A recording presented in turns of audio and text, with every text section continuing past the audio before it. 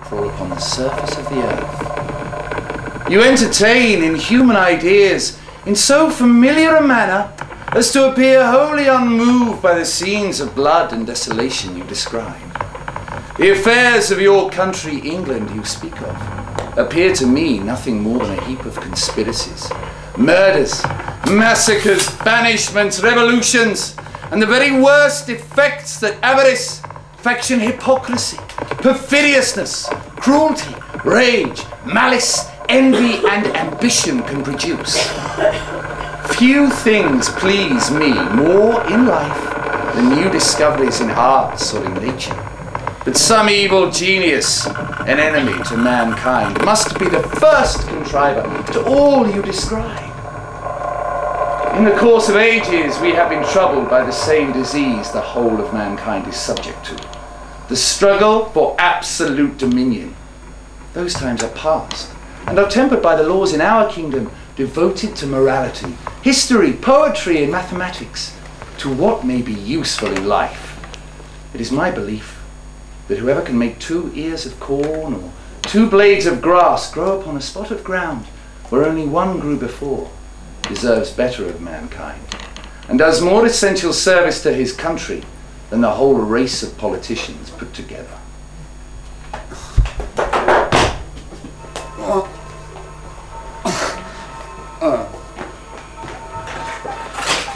What's happening to me?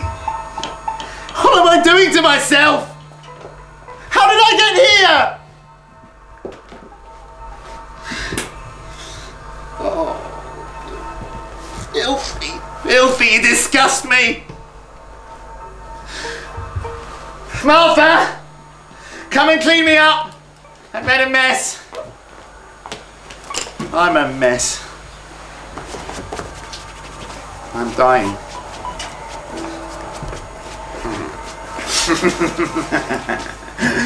Last week I saw a woman flayed, and you'd hardly believe how much it altered a person for the worse.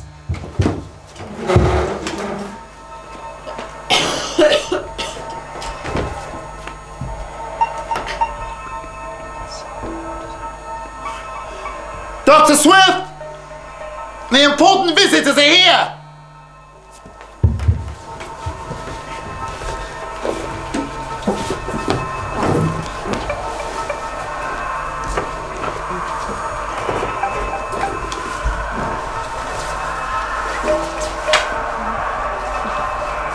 Your grace, an honor and a privilege, as always. The bishop.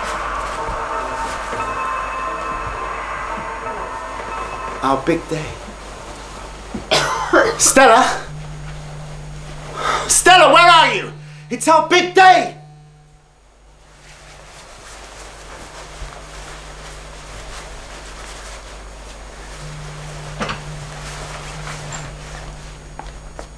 There you are. You look handsome. Radiant. Come.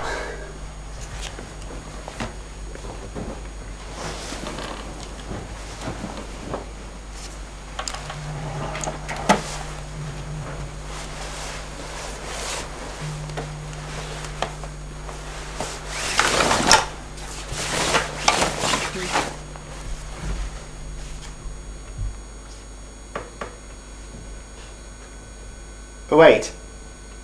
A moment. My wig. My wig. My periwig. Periwig. Periwig. My brand new periwig. Brand new periwig. 17 shillings and sixpence. 17 shillings and sixpence. Where is it? Where is Where it? is it? Oh, Periwig. Periwig. Well, I must have my best. Yes. periwig. Thirty shillings. Where is it? There is it. Oh. Periwig. There you are. You little rogue.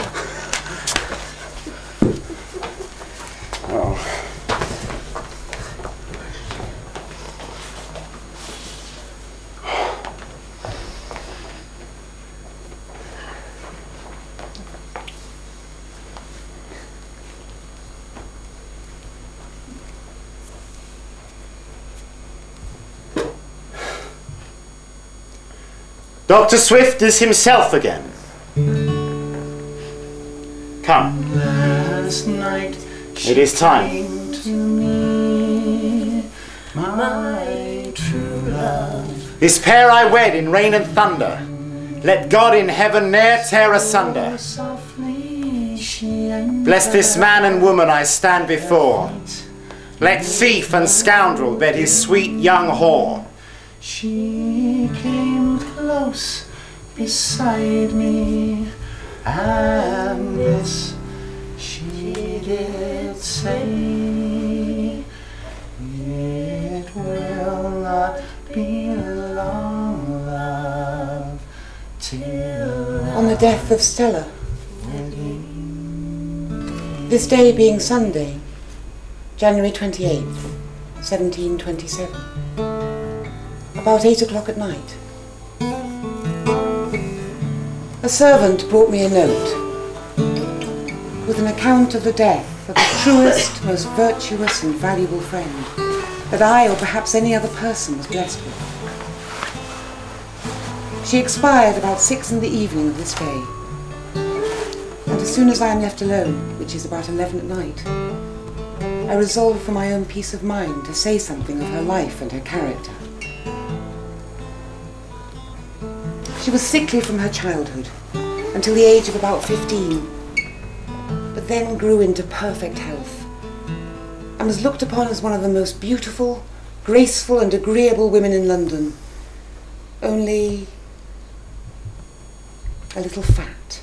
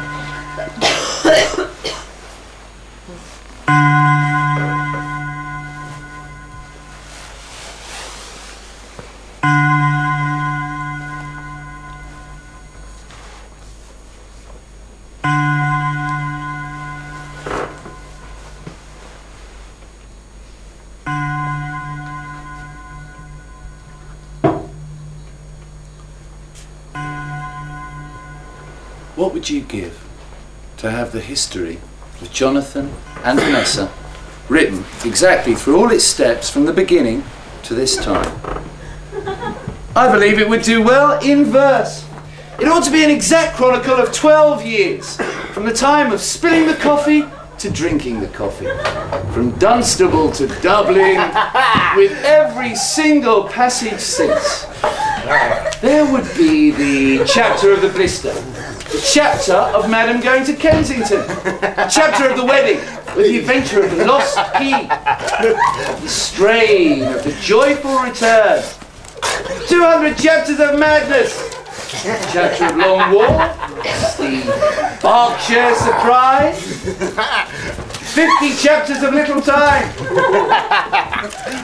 chapter of Chelsea, the chapter of swallow and cluster, the chapter of hide and whisper, the chapter of who made it so.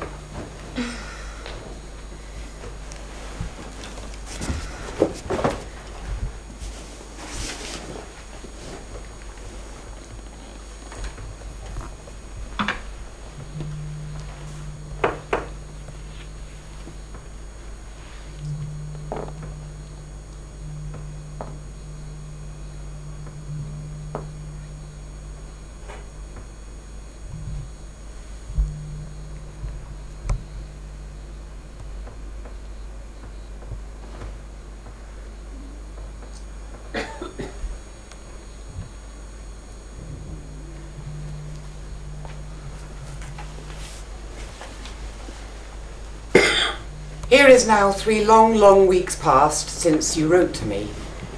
Oh, happy Dublin that can employ all your thoughts. I stayed but a fortnight in Dublin, and returned not one visit of the hundred that were made me. I prefer a field bed and an earthen floor before the great house there, they say, is mine. Once I had a friend who would see me sometimes and either commend what I did or advise me what to do. You once had a maxim which was to act what was right and not mind what the world said. Your letter put me in such confusion that I could not tell what to do. I even feared the tittle-tattle of this nasty little town, where everything is known in a week and magnified in a hundred degrees. Tell me sincerely if you have once wished with earnestness to see me since I last wrote to you. I was born with violent passions that terminate all in one. An inexpressible passion I have for you. You have not once pitied me, though I showed you how I was distressed. Should I find you enraged, still you would be the deity I worship. Consider those killing emotions which I feel from your neglect of me, some tenderness to me, or I shall lose my senses. I fly from the spleen to the world's end. You run out of your way to meet it. While you continue to be splenetic, count upon it I will always preach. The best companion for you is a philosopher. I'm thinking myself fast into the spleen, which is the only thing I would not compliment you by imitating. If you continue to treat me as you do, you will not be made uneasy by me long. Oh! Oh! It is impossible to describe what I have suffered since I last saw you. I am sure I could have borne the rack. Much better than killing, killing words of yours. Sometimes I am resolved to die. For God's sake, get your friends about you to advise. I want comfort myself in this case and can give little.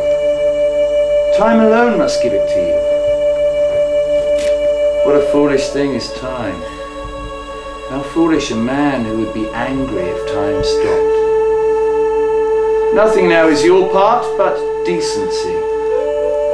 I pity you most of all the creatures alive.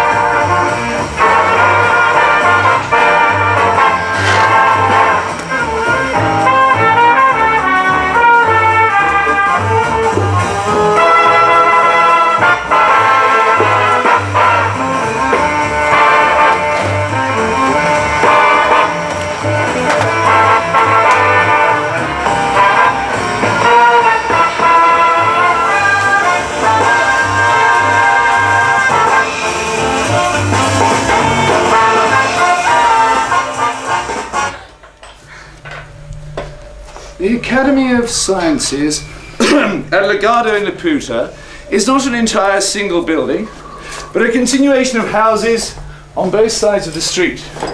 I was received very kindly by the warden there and went to the academy for many days.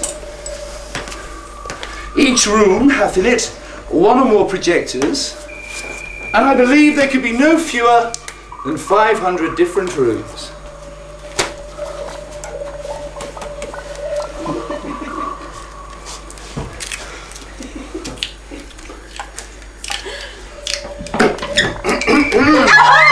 I am the person you should see. Come Thank my you, ladies. Thank you. I will show Thank you, ladies. Sir, Welcome. kindly show me the nature of your investigations. Welcome! I will present my experiment. Here, I am working on an operation to reduce human excrement to its original food by separating the several parts, removing the tincture which it receives from the gall, making the odor exhale and scumming off the saliva. I receive a weekly allowance from the Society for this filled with human excrement about the bigness of a barrel. Furthermore, for discovering of plots and conspiracies against the government, I advise all great statesmen to examine the diet of all suspected persons, their time of eating, upon which side they lie in bed, with which hand they wipe their posteriors, to take a strict view of their excrement. From the taste, the crudeness, the consistence, and maturity of digestion, form judgment of their thoughts and desires.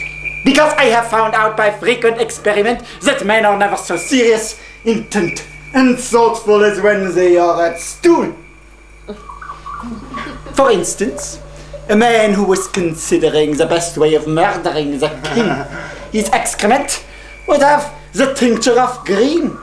Quite different though if he thought of raising an insurrection or burning the metropolis. It would appear, sir, that your investigations are not altogether complete. My, mine is the most complete. My method is next, I think. Thank you, madam. Miss, what investigations are you pursuing? Okay, well, well, my project is a scheme for entirely abolishing all words whatsoever. And this would be a great advantage, yeah, in point of health as well as brevity. It's plain that every word we speak is by some degree a diminution of our lungs by corrosion and consequently contributes to the shortening of our lives. And since words are only names for things, it would be more convenient for all men to carry about them such things as are necessary to express the particular business they are to discourse on. And this theory would already be in practice. If women, in conjunction with the vulgar and the illiterate, had not threatened to raise a rebellion unless they might be allowed the liberty to speak with their tongues in the manner of their forefathers. But such are their reconcilable enemies to science. However, many of the most learned and wise adhere to the new scheme of expressing themselves by things which has only this inconvenience attending it. Dr. Schwartzizer. Yeah. Yeah. Yeah. Yeah. that if a man's business be very great and of various kinds, he would therefore be obliged in proportion to carry a greater bundle, a greater bundle, Dr. Schwartzizer, thank you. A greater bundle of things upon his back. No, a greater bundle of things, Dr. Schwartzizer, thank you. Unless he can afford one or two strong servants to attend him.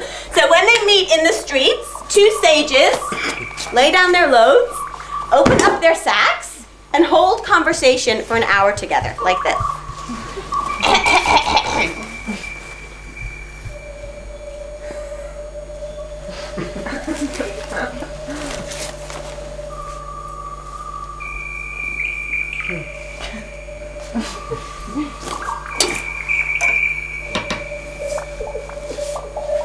Yeah. Okay. They then put up their implements. To resume their, they help each other to resume their burdens. Thank you, Dr. Schwartzizer, and they take their leave. But for short conversations, a man may carry implements in his pockets or under his arms, enough to supply him. And of course, in his house, he cannot be at a loss. Therefore, the room our company meet, who practice my theory, should be full of things, ready at hand, requisite to furnish matter for conversation. It will also serve as a universal language to be understood in all civilized nations whose goods and utensils are of the same kind, or nearly resembling, so that their uses might be comprehended. Thus, ambassadors will be qualified to treat with foreign princes or ministers of state to whose tongues they would otherwise be utter strangers. well, that's it. Well done! Thank you so much. Uh, my method, my method is now, I think, yes. Madam, My method is this. I have the most wonderful contrivance to reconcile political parties in a state who are violent. Take 100 leaders of each party, dispose them into couples of such whose heads are nearest in size. then let two nice operators saw the occupant of each couple at the same time and in such a manner that the brain could be equally divided. let the occupant thus cut off be interchanged, applying each to the head of his opposite party man. It is a work that requires some exactness, but if dexterously performed, the cure will be infallible.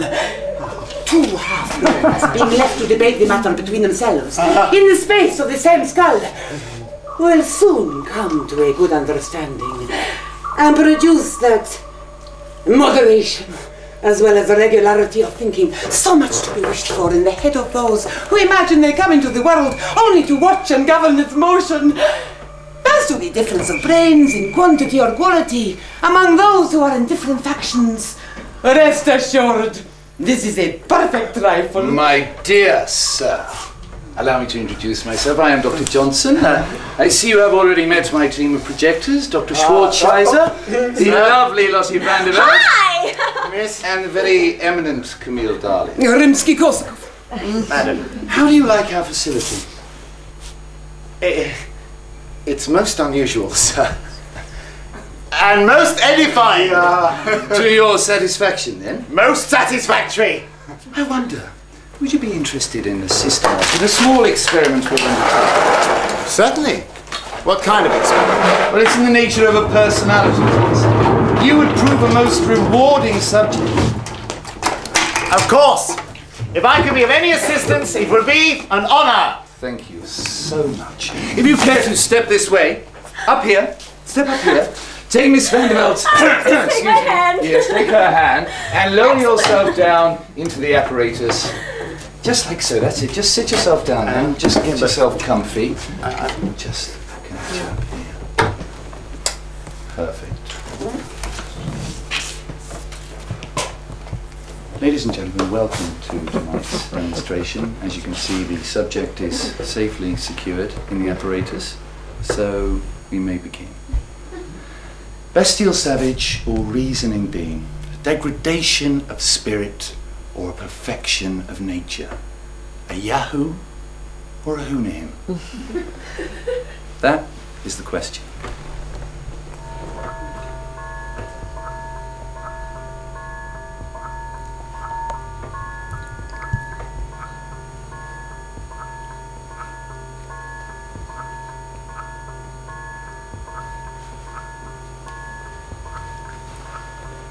What's going on here? I'm Jonathan Swift. This is preposterous. I created you. I wish to leave now. Please relax and cooperate. Things will go better for you. This joke has gone on far enough.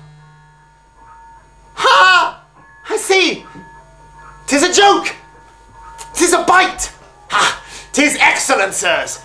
For a moment, you had me taken in entirely. Gay, is that you? Arbuthnot, it's you, isn't it? Don't deny it. Uh, Addison, how could you, you sly old dog? And my dear friend Mr. Pope looking all sheepish and innocent there. Once, once again, sirs, tis a bite, a veritable bite. A bite? You would bite for pleasure? This is Yahoo. No! A bite as in a practical joke!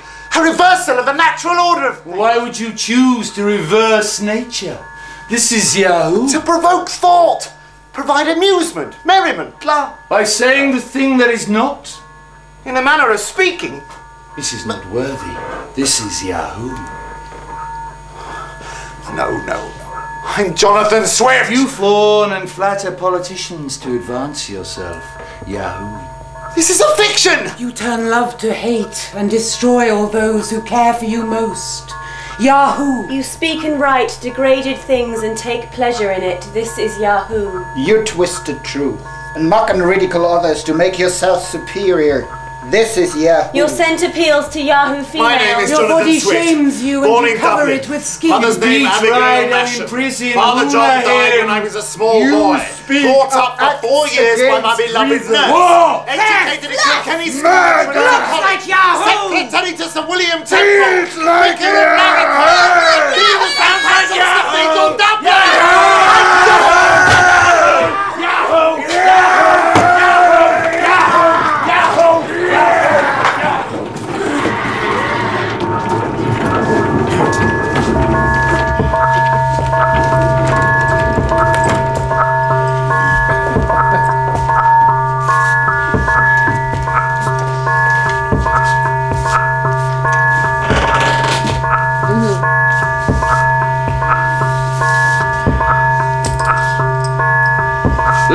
Gentlemen, as you can see, this is quite clearly a disturbed Yahoo. In need of major Yahoo surgery. Should he be in any doubts about my qualifications for this operation, may I remind him I have a bill which permits me to bleed, cut, draw, lance, bend, embricate, and kill as I see fit. To proceed to the procedure. As you can see, our patient has been gagged for his own safety. Operation will release the humours in the patient's brain, thus curing him of all fits, headaches, tendency to blindness, and all other causes of violent behaviour. I shall be cutting, or more precisely, boring, a small hole in the skull of the patient with this instrument here. I shall be cutting a small groove which will be kept in place with a central Everybody pin, wants to get while the entire instrument is turned. wants to die. Everybody wants to get to heaven. Everybody wants to get to heaven. Everybody wants to get to heaven, but nobody wants to die. Nobody, nobody, nobody, nobody, nobody wants to die. Nobody, nobody, nobody, nobody, nobody wants to die. Everybody wants to get to heaven, but Nobody wants to die. Everybody wants to get to heaven, but nobody wants to die. Everybody wants to get to heaven. everybody wants to get to heaven. Everybody wants to get to heaven, but nobody wants to die.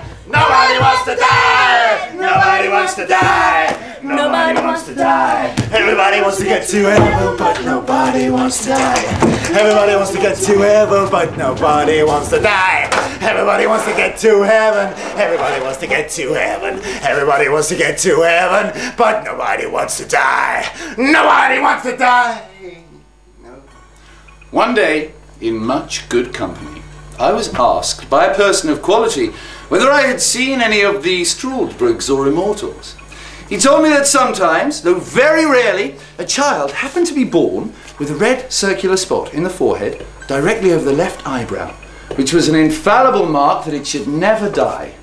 I cried out in rapture, Oh, happy nation! Where at least every child has a chance for being born immortal! Happy people, happy nation, happy people, happy nation, happy people, happy nation, happy people, happy nation, happy people, happy nation, happy people, happy nation, happy people. Gentlemen, to whom I addressed my discourse spoke with a sort of smile, which is usually reserved for pity to the ignorant. He gave me a particular account of the Struldbrugs among them.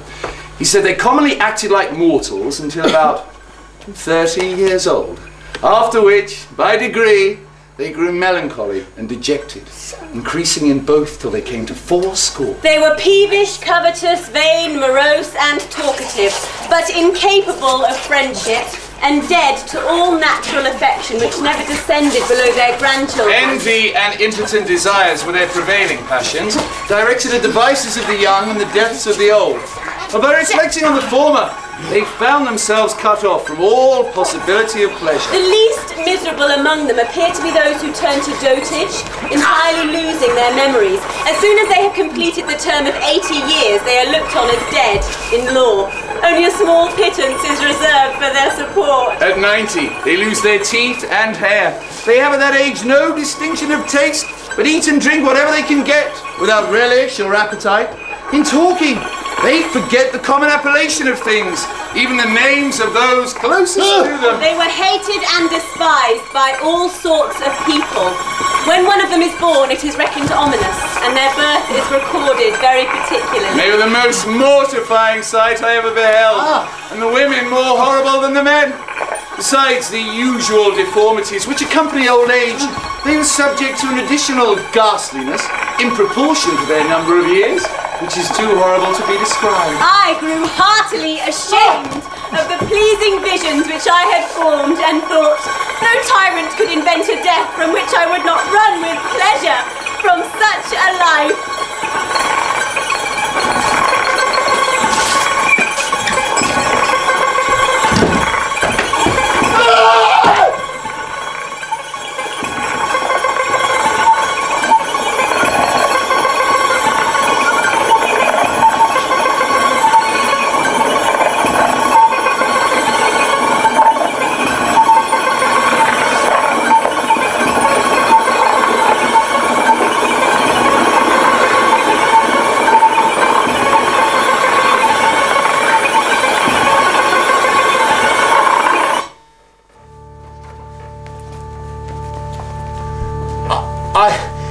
Believe in God Almighty and in Christ Jesus, His only Son, our Lord, who was born of the Holy Spirit and the Virgin Mary, uh, and was crucified under Pontius Pilate and was buried, and the third day rose again and ascended into heaven and sitteth on the right hand of the Father. Whence hath he come to judge the living and the dead? Uh, damn! I believe in God Almighty and in Christ Jesus, his only Son, our Lord, who was born of the Holy Spirit and the Virgin Mary, who was crucified under Pontius Pilate and was buried, and the third day rose again and ascended into heaven and sitteth on the right hand of the Father. Damn, damn, damn! Thou shalt not take the Lord's name in vain! Swift! You blasphemer! Are you there? Don't you say damn you God anymore! I believe in God Almighty and in Christ Jesus, his only Son, our Lord, who was born of the Holy Spirit. Swift! Answer me! Why don't you believe in me? I do believe in you, in a manner of speaking. I conceive of some scattered notion of a superior being to be of use to common people and provide topics of amusement on a tedious winter's night. You heathen unbeliever! Canaanite, Shiite, Hittite, Ammonite, Assyrian, Babylonian! I believe in the power of man to create a just society based on a creed of rational discourse. Atheist, humanist, nonconformist, communist, Nietzschean, ignition! Oh, that's quite enough. Jonathan, you're a good boy. He's not the only one who's proud of his son, you know. Who are you? Jonathan, it's Abigail, your mother. Rivers of fire, pillar of salt, tempest and locusts, honor thy father and thy mother. Don't you remember all the nice things you wrote about me after I died? She was of a generous and hospitable nature, was very exact in all the duties of her religion, and went to church twice a day. If the way to heaven is through piety, charity, truth, and justice, she is there. See how much you loved me? I'll treasure all those precious moments we spent together forever. We spent hardly any time together. Swift, do you love me? Answer me! Hey, Jonathan, no point in getting distracted by intangibles like God. Swift! Grasp the fruit from the tree while it's ripe. Oh, come on, Swifty. You know you want to. Come and drink your coffee in the sluttery. You and I were always, always meant to be. Nothing's gonna take you, uh, take you away from me no more. Struggle. You can trust in me, genius of the wit. Come and play with me. Nothing's gonna take you, take you away from me no more.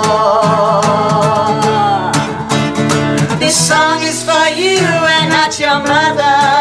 Oh, tell me it's true. You love her mother. Nothing's gonna take you. Jonathan, my boy, haven't you done well to yourself? Look at you, Dean of St. Patrick's, you must be so proud. All the family in Leicestershire still ask after you. Oh, Jonathan, tell me you still love me. Swift! I'm warning you! Your time is up! Jonathan, wake up and smell the coffee. You've done so much for others. Well, why don't you give yourself I have oranges and sugar, chocolate and venison. A special haunch I had sent over for you. Promise me you'll try at least an ounce. Nothing's gonna take you, take you away from Pity me, my sweet, sweet presto. Forgive me, I'm sorry I left you. Nothing's gonna take you Believe away from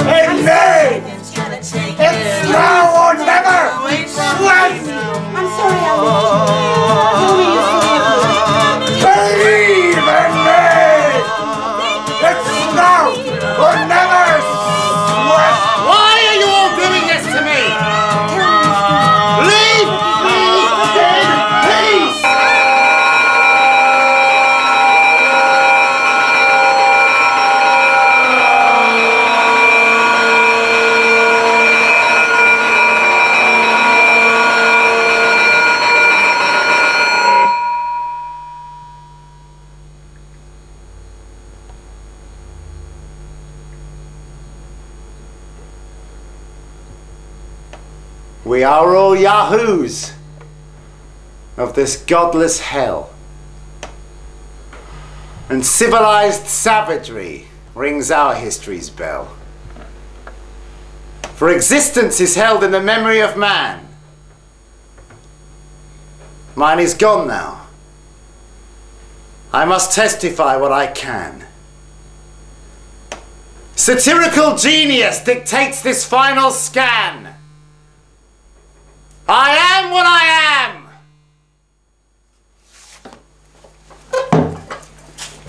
I am what I am! I am what I am! I am what I am! I am what I am! I am what I am. I am what I am. I am what I am. I am what I am.